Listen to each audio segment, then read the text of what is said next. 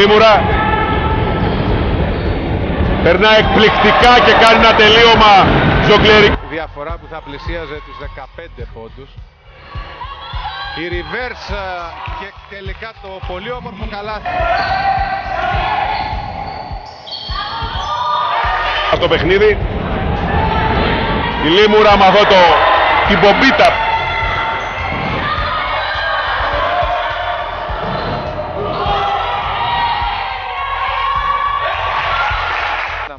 οποία έβαλε το χέρι της και υπέπεσε σε αυτή την παράβαση.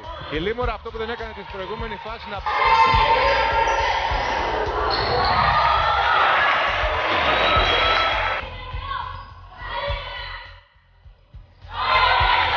αποτυχημένη από την Τζεγιανάκη που έχει τα γρήγορα πόδια και μπορεί να πάει σε πολύ γρήγορα. 5 δευτερόλεπτα ακόμα για το τέλος. Στο πρώτο δεκάλεπτο φανταστική assist από τη Λολίτα Λίμωρα στο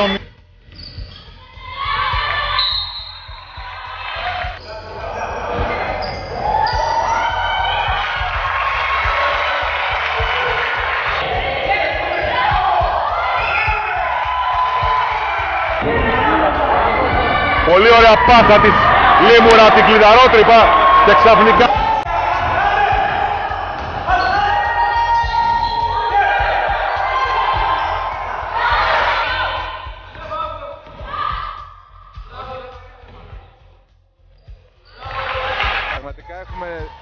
πιο control ρυθμό στο παιχνίδι μας. Ένα μακρινό σούτ από τη Χατζηνικολή. 10 δευτερόλεπτα ακόμα η Κοσμά ξεκινάει Κασάπογλου πολύ καλή κυκλοφορία ξεμαρκάρει στο σουτ